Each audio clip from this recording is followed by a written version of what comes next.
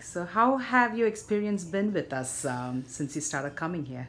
It's been great. I mean, I've been coming for a while. Um, I came all the way back from Manhattan last night just to come here. So, you know, no complaints. Everybody's really friendly. Um, the process is really quick. So, you know, no complaints. All smiles. All smiles, yeah. What did you have done today?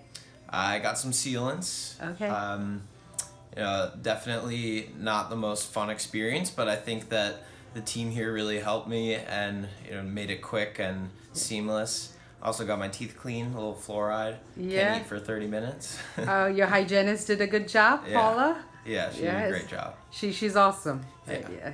And how have the assistants been? Who did, uh, who did the X-rays today? Laura. Uh, who was that? Laura. And, Laura. Um, And Ashley. And Ashley, yeah. Yeah. Um, no, they were both great. Um, you know, felt really comfortable the whole time. They told me whenever the seat was going to go back or forward, so I wouldn't Yeah. jump. Okay. You don't like the seat going back. No, no, I like I jump. Um, you just want to be warned, right? yeah, exactly. Uh, Awesome. so yeah, it was good. Uh, so you, I'll be seeing you again in six months. Right? Yeah, six months. All right, and you're gonna come back from Manhattan again. Yes. Yeah. All right. We appreciate that. we really do. Thank you. Thank you.